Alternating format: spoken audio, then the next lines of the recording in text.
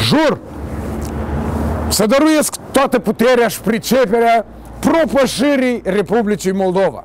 Să respect Constituția și legile țării, să apăr democrația și drepturile fundamentale ale omului. Deschid. Of! Nu există nicio onoare în sistemul moldovnesc.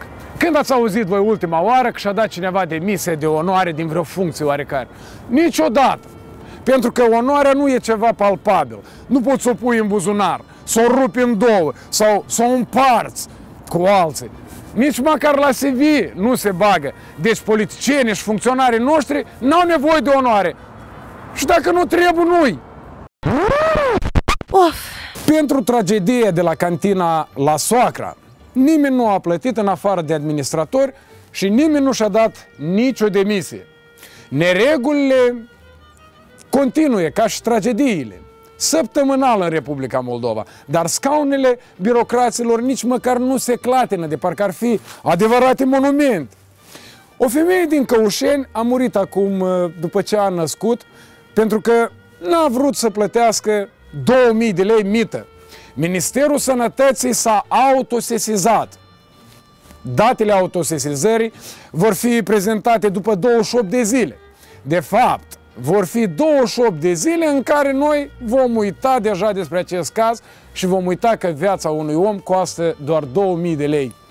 Iar de la Ministerul Sănătății nimeni nu va zbura. Deja știm asta. Of! Licitațiile pentru alimentarea grădinițelor au fost trucate. Firmele care aduceau hrană stricată făceau bani, iar uh, copiii se îmbolnăveau. În afară de cei prinși direct de CNA, primarul Chirtoacă a cerut uh, suspendarea celor implicați din direcțiile de învățământ, din capitală. Totuși, șefa Direcției Generale uh, Educație, Tineret și Sport, Tatiana Tverdohleb, a declarat că ea își asumă responsabilitatea, dar că nu e vinovat. Păi sunt două variante. Dacă nu știa ce se întâmplă, înseamnă că e incompetentă și e vinovată și trebuie să pleci. Și a doua variantă, dacă știa, atunci e vinovată și trebuie să pleci. Varianta că eu îmi asum responsabilitatea doar că nu sunt vinovată, pur și simplu nu există. Of! Inclusiv Dorin Chirtoac trebuie să înțeleagă că atâta timp cât are în subordine oameni care își asumă responsabilitatea, dar nu sunt vinovați, socialiștii o să joace pe biroul lui la fiecare ședință a primăriei și o să câștige capital politic. Nu ne trebuie nouă nicio luptă aprigă. În schimb, funcționarii care au călcat odată pe bec trebuie să plece. Nu să stea să aștepte ce ne au. Of!